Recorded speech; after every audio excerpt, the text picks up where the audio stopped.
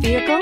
Check out the 2022 1500. Ram 1500 went against the Chevrolet Silverado, Ford F-150, and Toyota Tundra, which are all excellent trucks in their own right. The Ram took home the prize for its well-rounded strengths. This vehicle has less than 100 miles.